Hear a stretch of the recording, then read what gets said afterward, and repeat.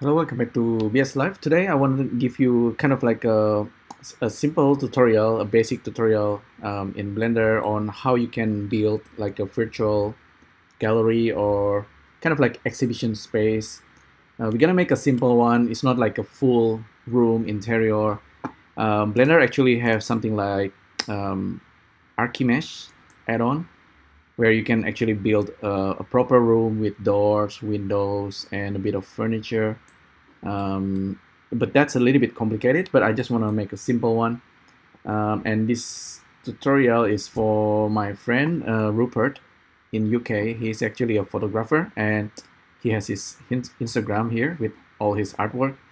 I grab a couple of his artwork as an example and I want to show him how to create um, like a virtual um, AR exhibitions, um, kind of like a simple walls and where he can put his photo. All right, so it's, it should be really simple. So let's get started. So this is definitely uh, for those who never use 3D or never use 3D app. You might be a photographer or illustrator. You or maybe like a comic artist, but you want to make some kind of AR experience to display your work okay? It's gonna be really basic. So first of all um, to bring in your artworks it's actually really simple. You just go file import images as planes and then you go to downloads where you have your artworks. So I got I got it here. I just select all using A and then uh, we don't need to make it shadeless just use the principled material so we can have highlight and things like that reflections import images as planes. All right so you already bring in your image as planes. So that means every image artwork is gonna be a planes uh, you can't see anything yet but if you turn on texture you can see your artwork or your photo. Okay so it gets nice highlight. This is the default material. You can actually add more to it. And each one of the plane have a different materials with all this uh, control over metallic roughness clear coat. So yeah. Um, so the image doesn't come with a frame. You can add things like details like framing etc uh, it's actually not that hard but we're not gonna do that for now. We actually just gonna give some kind of thickness to this image. We don't want it just to be flat. So normally I just assign a solidify and give thickness. And I believe with the thickness we can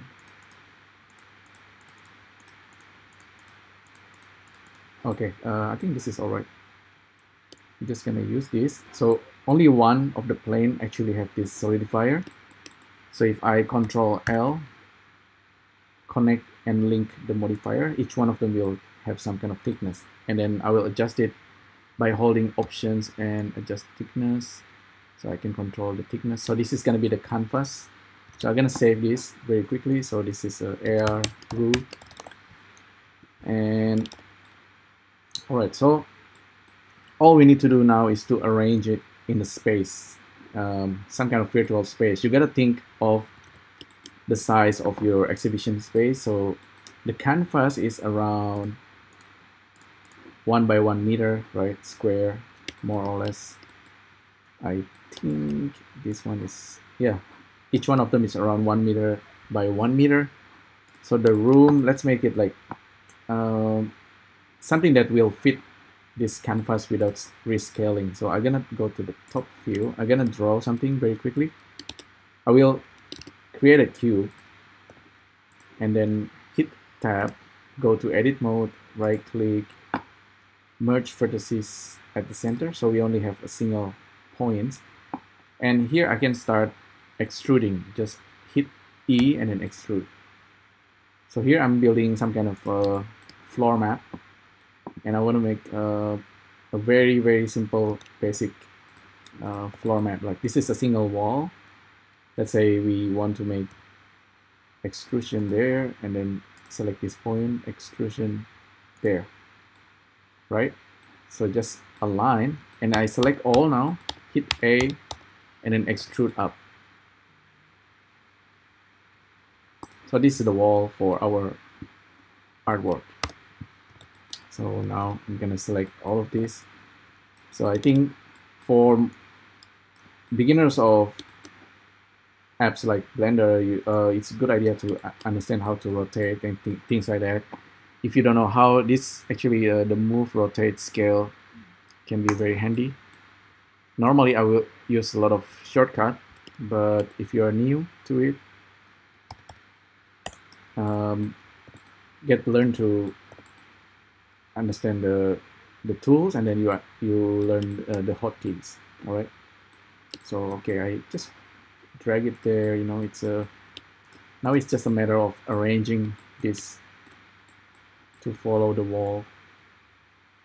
More or less. It's easier to do it from the top view.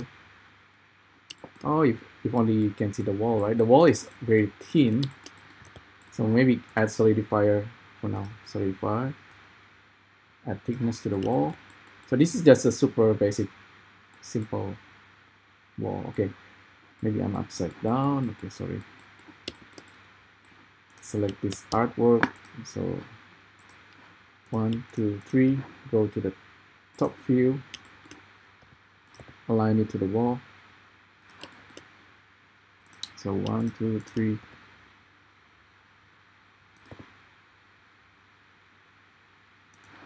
okay cool. So you can feel free like if you want to scale some of the artwork and you want to add some kind of informations using text or using image that uh, that's totally up to you. Uh, let's actually move this. But locally okay so that's a simple trick there's actually Rupert with his uh, mask because of the stupid virus thing. Alright, so yeah, we have our exhibition space. Um, if a person actually standing here, it should be a good placement of the this canvas.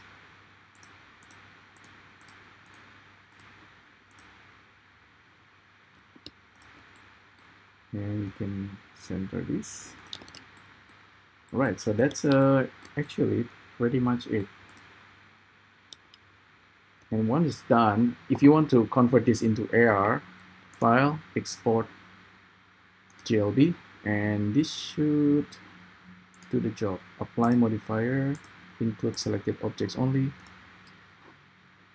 Um, we could add material to the wall things like that but and in this case I don't have the floor or ceiling. I just want to make this like an open space and this is gonna be just a very basic AR space. And all I need to do now is to use reality converter app and drag and drop our GLB into this guy. Where is it? Okay this if you drag and drop the GLB into reality converter and if it's working then you just export it into iPad or iPhone as USDZ and it should work and you just share it with your friend. And you have this kind of like an app for AR and it's just gonna work. Let's wait a few seconds.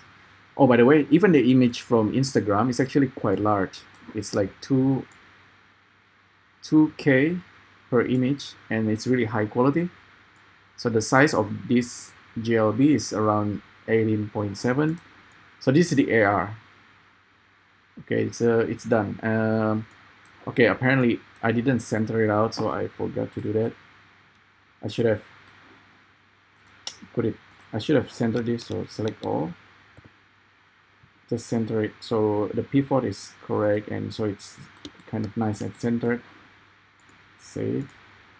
Save the blend file. Export the GLB once again if you like. Save under the same name. Um, later on reality converter will update it accordingly. We can change the environment so it's already reloading.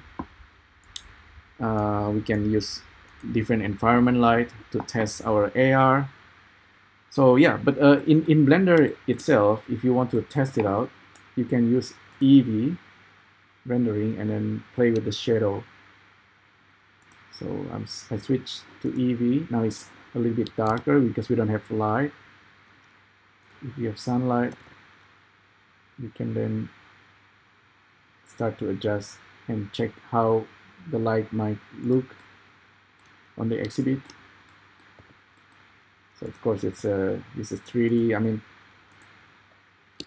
you don't need to know the whole package when you're learning 3D. Like I mean, for if it's like pro, for professional uh, works, maybe it's a different than if you're actually just gonna be using it for you know like a once-off thing like making something like this you might actually notice there's a slight issue with the normal you might need actually to switch on only rim because it might be that the normal is not correct? Let me check. I think this this looks alright as AR but here. So for each one of this image let me try. One two three. Somehow super slow